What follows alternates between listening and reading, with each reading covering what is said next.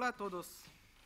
I won't do this talk in Spanish but, because I haven't spoken Spanish for 10 years, but uh, I would be well, if you have, uh, want to talk to me in Spanish after that, let's try. Uh, first of all, most of you don't know me, so let's have some kind of presentation. I'm software craftsman, so I'm a developer. Uh, I work on the RDO engineering at Red Hat, RDO being the Red Hat OpenStack distribution. Uh, I also do on my free time a lot of open source. I'm a Fedora developer, part of the engineering committee. I'm also a CentOS developer. Uh, and uh, I'm the new project technical leader for the new OpenStack RPM packaging project. So I'm not paid to work on any of these projects. Uh, I've been interested in cloud computing since 2006, so uh, obviously uh, this was a topic that uh, interested me for a while.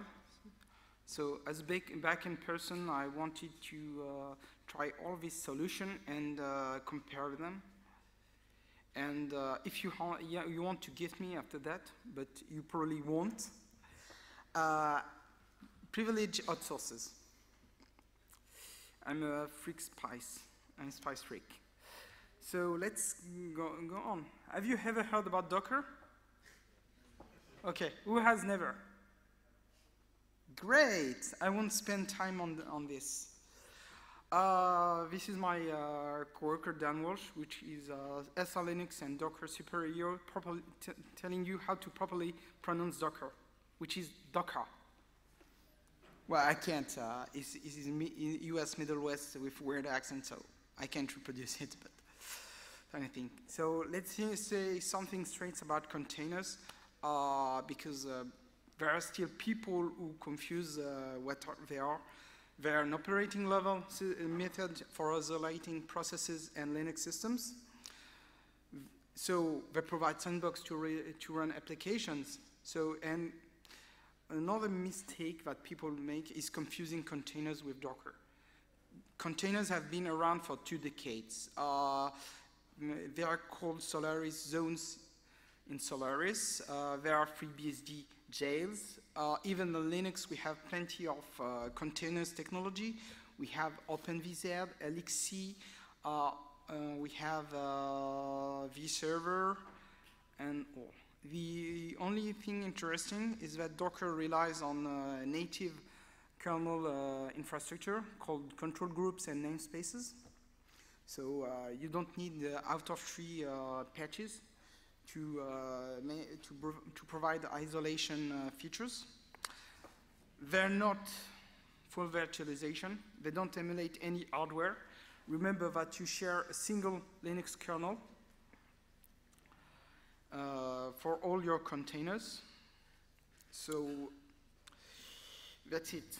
The emphasis is that you have a sandbox. Think, think of chroot on steroids. So Docker, so if containers are not a new technology, what is Docker about? It's about industrialization. It's about build once, run everywhere, because you package your application in a container image that you can ship everywhere and it will run the same, be it on your developer laptop, on your production server, or on your uh, on a VM, on a cloud instance, it will run the same.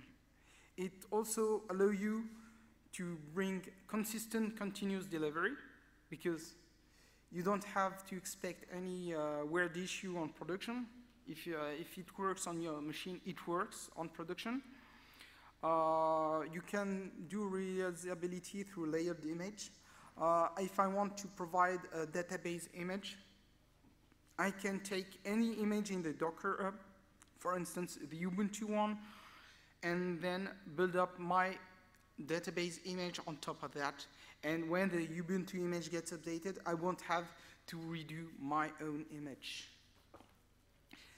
Uh, it also go on with the trend that the industry is moving from monolithic behemoth to microservices architecture. Uh, we're trying to break large, big enterprise application into smaller services. Uh, but what is interesting with Docker is that as you ship runtime with your application, you can also integrate gracefully your legacy apps and migrate them progressively to microservices without having to keep your old infrastructure aside. Uh, another topic, which is a bit annoying for me because I'm paid to do RPM package, is that it brings the question that our is packaging still relevant in a container world? Uh, my take is that yes, it is, not just to trying to save my job, uh, because it also allows you to build more easily uh, your container image by using RPM. I will speak about uh, later another project which relies on RPM package uh, to do that, but uh, but it also it's it's also reusability, but for it's more containers is more geared toward end user. It's for instance, uh, I won't have to do if I have an RPM package for my application and I do and I build up a container image with, based on that RPM package, it will work the same on the Debian, Ubuntu, or Slackware uh, system because I won't have to redo the packaging. It may, it's, all, it's also a different, it's all, you can also have hybrid ways to ship your application. And now, so Docker is a great technology to ship application, but it's a container. You need uh, something to run these containers. So we have to rethink about how we host this. So you can use your usual GNU Linux distro with Docker. It, it works. But, well, if you run your application and your maybe your why not your system services in container, why bother with a full-fledged Linux distro? So you can go toward minimal distro like boot to Docker, but boot to Docker, even, from, even its maintainer will tell you that it's not made for production. And it may not provide also all the tools needed for administration you may need. Uh, also, since we're moving to microservice architecture, there's one important point is that you want to have cluster management uh, tools so uh, you, have, you, you still need something that is not too minimal. Uh, the advantage of microservices is that you don't need uh, large hardware to run them. You want, may want to use commodity hardware.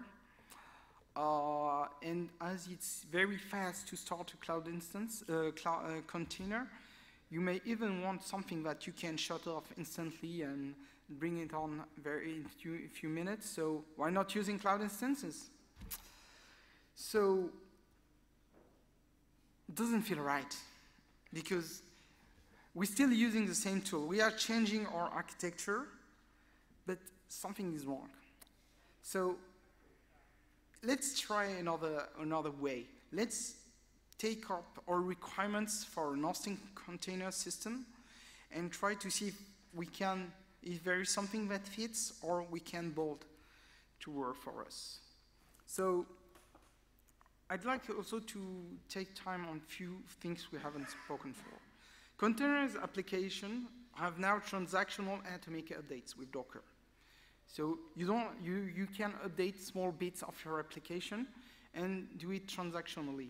And if it doesn't work, you can roll back, which is cool because you don't want to break your production system and uh, application runs in isolated sandbox, so why not my system services too? If they fail, that shouldn't fail the whole system.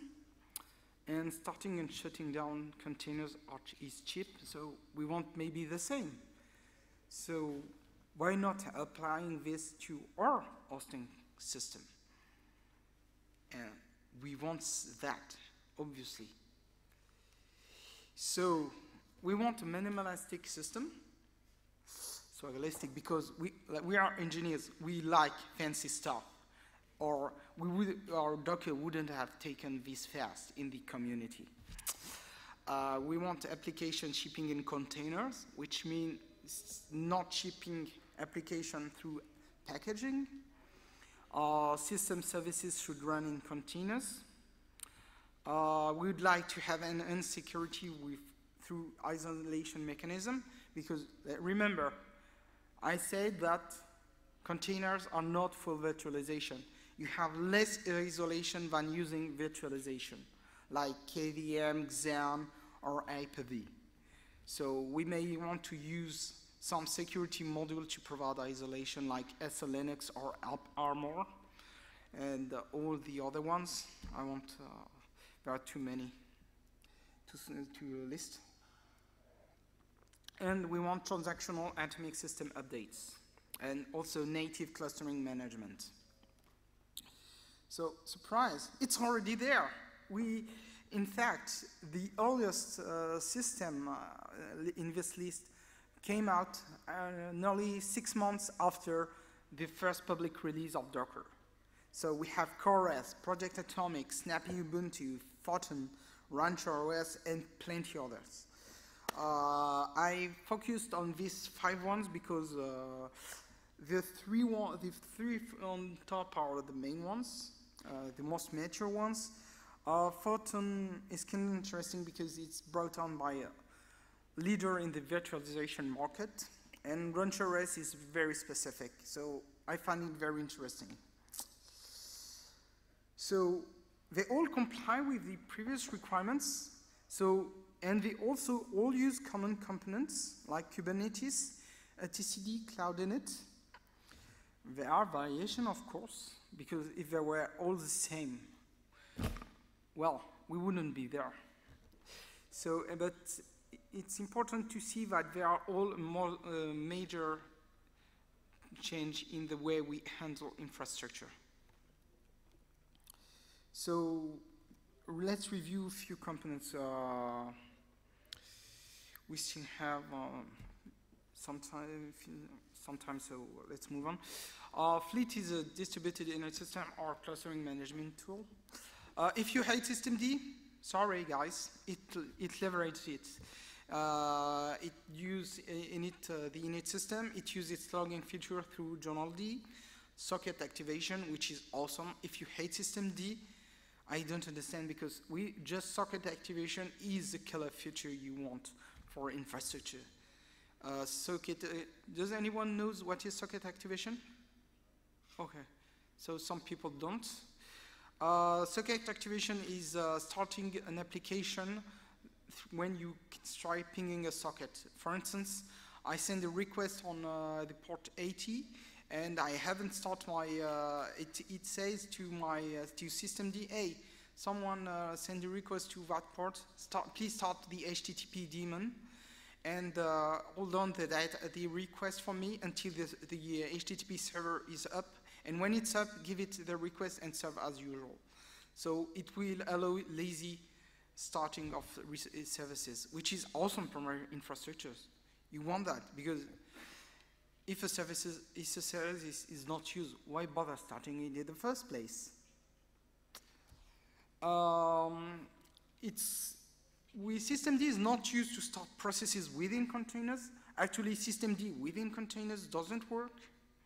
So you even have a fake systemd to allow uh, some processes that relies on some systemd features to run inside containers.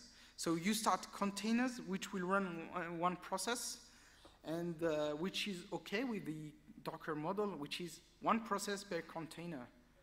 This is the model. You can start multiple processes, but, well, this is the model. Fine-grained scheduling and machine discovery, but machine discovery relies on the next component, which is etcd. A TCD is a word beast. It's most data, mostly data store containing uh, ephemeral data in unit files, cluster presence, unit status. Uh, yeah, thank you. Uh, it, it provides service discovery. Uh, it's basically, it provides synchronization primitives. I like to think of it like a Zookeeper lightweight alternative. Uh, but uh, it's still very specific uh, to, uh, to the containers world. Uh, we have also Cloud Init uh, because if you start on-demand systems, you want to, uh, you can't configure them. Uh, you can you can pass this configuration because you so you use a daemon called Cloudinit that will rerun on start time and retrieve data from an endpoint to, to initialize your cloud instance or your hardware instance, works on both. And uh, it's more or less a standard. It's something, it's a tool built by Canonical. And uh, it's very useful for stateless systems. Kubernetes, uh, it's basically container orchestration by Google. Uh, it's not inside the hosting system, it's more, it's an orchestration tool. So basically it will be used to provision your cloud instance and your hardware and uh, run your, uh, your um, sorry, uh, your uh, hosting uh, system, and then it will uh, start your application within the system. It handles physical hosts, Google Compute Engine OS, Mesos CoreOS uh, machines, Atomic host. It provides scaling, self-healing replication mechanism. Uh, basically, I like to think as the lingua franca of uh, the containers world. It's uh, the one tool uh, to, rule them, um, to rule them all. So let's review our container because we have now less than 10 minutes. Uh, it's a derivative of Chromium OS, which is itself a derivative of Gentoo. Uh, it's the oldest one in the list. It's relatively mature. They created the etcd and Fleet we spoke about before. They also created a competing uh, container engine called Rocket, which is uh, more or less a clone of Docker, but uh, with standards. Well, it recently changed as in DockerCon uh, CoreOS and uh, Docker Inc. recently announced that they will be working toward a common specification for containers. Uh, does not support software installation on the host, so you have to run a privileged container called Toolbox, which is Fedora-based. Yay! Which you, which you can use to install anything you want for debugging purpose. It has not additional security isolation, which is to me, the only default in CoreOS user story. And uh, there are still questions now if they are still going to use Rocket or the standardized container uh, runtime. So if you want to test that, uh, to test one of these, CoreOS may be a safe bet. The, the, new, the other one is uh, Project Atomic, which is funded by my employer, but I don't work on this project. Uh, basically, it's taking all our uh, family of distribution, Fedora, RHEL, CentOS, and we provide for each of them a variant, which is called an atomic host. Uh, the main difference is that you don't use YUM. You, we use something called rpm-ostree. Host tree is uh, like Git for binaries if I want to, su to sum up. So it originates from the GNOME CI platform. So it's used to you maintain your system as a as in layers of image, much like Docker containers image, which is nice because it nicely fits with the Docker story. And uh, RPM host tree is an additional layer with, that allows you to build that image layers from packaging. So either you take uh, from uh, Fedora on CentOS uh, website the atomic host image and deploy it on your machine and uh, run it and get updates uh, from the from the website from the web from uh, the repo it's not repository I don't remember which is the proper word but from our website. Uh, or you can build your own image with your own packaging and package set using rpm-ostree so it's kind of a middle ground between traditional system and modern container host systems. And, uh, and it's pretty much the same as um, CoreOS uh, in the plan of using uh, the um, on using on on managing application uh, on managing application uh, on the system. Uh, it has matured uh, quite recently, but um, it's pretty much on the same level of support as CoreOS now. It should, at least. And uh, we have additional security uh, layer with SELinux, which provide more isolation. Remember my coworker, Don Walsh, which is the guy who implemented it, and uh, that's quite interesting. Five minutes. And then let's uh, go to review the, the other one, Ubuntu, Snappy Ubuntu, which is may seem the most recent one, but in fact, uh, it's based on, on old work from Canonical, uh, the work from Canonical on phones called Ubuntu Core, and uh, they're also their just enough operating system, which already used LXC containers to uh, to isolate apps. They use AppArmor uh, to to enforce isolation. Which is interesting in this in their model is that they have an additional abstraction layer, which is frameworks and application. Basically, frameworks are containers engine, and applications are the containers themselves.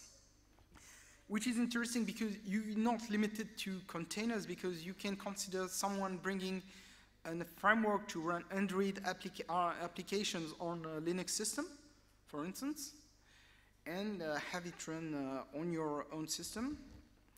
Another variation is that it uses LXD, which is another, well, I, I, they call it an hypervisor, I would call it a Docker clone, but uh, that's a matter of uh, definition. But it also can use Docker because, well, LXD, be, LXD being very recent, uh, they don't know where the market are, is heading, so they keep uh, both ways, both technologies. Photon. Photon is still a tech preview from VMware. It's uh, based on Fedora. It plans to build the RPM host so I think in the end it will be pretty similar than uh, uh, Atomic. Uh, get interested in because they have a YUM compatible package manager called TDNF. Uh, it's still very new, not much. I would still follow it because, uh, but it's not something you can use in production.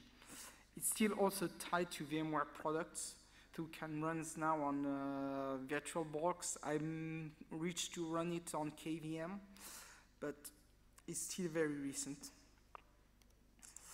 Rancher OS, my favorite one, really, because not because I, that's the one I would use it uh, in production, because, because it has a very much more radical model, which is very interesting.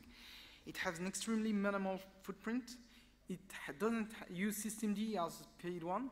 It uses Docker, and it's also it also you and it runs do Docker for another Docker daemon for application in a Docker container, which is Docker Inception.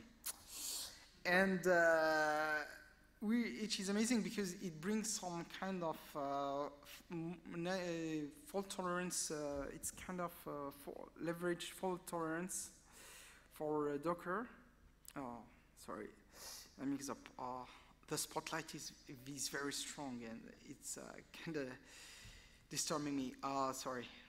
And um, well, so it's very different from the previous one. So that's why I find it very interesting. Uh, they are geared toward embedded device and Internet of Things, which are, is now the next big thing in the uh, tech industry. So it's very interesting and uh, it works quite well, but uh, I, I, wouldn't use it in a, an industry IT infrastructure because it still lacks some features like clustering. One minute. Well, in the end, I'll be not be too late too much. I provide you so much sort of choice now that you must hate me. And I didn't give you the uh, right solution because I don't have one. Because, uh, because this is kind remember, this is an emerging model. Things change fast. Atomic host one year ago was completely different than now. And the same for CoreOS. Now I think we have reached maturity so we can start using them in production. So we still don't know which will be the right model. I think that CoreOS Atomic and Snappy are maturing. Uh, in terms of resources, they are pretty much the same, be it uh, disk resource, memory usage, same. I think security-wise, Atomic and Snappy have much consistent user story because they use additional, they use mandatory access control security models to provide enhanced security, enhanced isolation, sorry. So, sorry CoreOS, but you, you have to fix that if you want to, to stay relevant in that market. I'm sorry, I'm going a bit over, but in the end. And uh, Rancher OS is interesting because it targets a niche market. So I think it will fare pretty well because uh, none of the three previous one will be targeting Internet of Things. Maybe Snappy, but well, knowing Canonical, uh, they will utterly fail if they do. Uh, I like trolling. And uh, Snappy and Photon target different uh, containers technology through, they still support Docker. It also stresses that the importance of cluster management because you see Kubernetes can handle CoreOS and Project Atomic in the same infrastructure similarly. So you don't, it's not, there is much less coupling on the base system. So it doesn't mind. So I'll be wrapping up for this and leave some time for Q&A. So thanks for my uh, co-worker, Michael, uh, my friends, Marianne and Mathieu for proofreading, Dr. Sheldon Cooper for uh, his inspiration. Credits uh, goes to, to the Baby and Terry show for the inhabited gifts. And thank you guys for staying there because uh, I may not be the best speaker around, but uh, I appreciate this. Thank you, Michael. Yeah.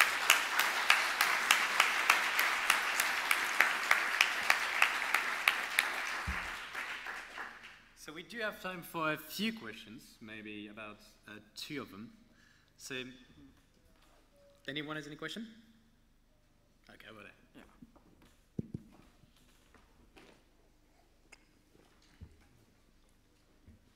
Hi. So I take it that uh, rpm-ostree uses a different binary format for um, the images.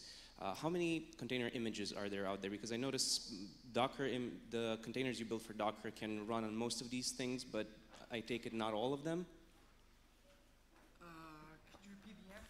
Basically, uh, Docker containers, I can run them uh, as I'm building them now. If I'm using Docker and Docker build to build the containers, I can build, run those images on most of these, but I understand not all of these. Can I, is that correct? Or how many formats, binary formats, are there now? Oh. You mean uh, formats of, of images? Um, yeah, uh, the interesting thing in, uh, in, Docker is that they haven't standardized the image format. This is even if they haven't do that, done that, we wouldn't have uh, true build-ons run everywhere. I think I, I, that's why I think Docker is about industrialization. You can, I did containers way before Docker happened, but the, the pain, the pain was doing these images. You, when you do an image for OpenVZ, you weren't even sure it would work on a different OpenVZ host. So when Docker built that, build that, they say the, they say, they say the, the, they say the word. That's why, that's why they're so, they're so, uh, they created so much noise around this technology. I think there is a question here. Yes, but it needs to be very, very short. Yeah.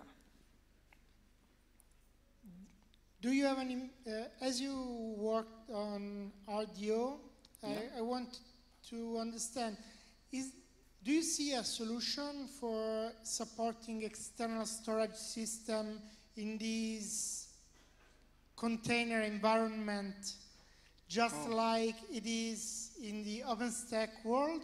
Could it yeah. be standardized in some way? So if uh, I have yeah. a yes. OpenStack storage system, I could use it via a container. Mm -hmm. Okay, uh, I see two questions. The first one being, uh, we, can we use uh, industrial storage system uh, for containers? And the answer is yes, we can. Uh, Docker has some uh, has storage drivers to allow that, so you can do this from Docker directly. Uh, since you mentioned OpenStack, I see another question is that how we mingle uh, Docker containers in uh, cloud cloud infrastructures. So uh, we have uh, we have various initiatives to bring containers to the OpenStack world. We have the Nova Nova services, which is the hypervisor service in OpenStack, has now has uh, rebooted uh, the Nova Docker uh, initiative. So it would allow you to run directly containers from OpenStack too, using the same the same infrastructure as usual OpenStack. So you would be able to upload images in uh, the image service and uh, run them too. Does that answer your question? If you want, we can talk after that. Yeah. Uh, I have time. Enough time. Yeah. Thanks again, Haikel. You're awesome, guys.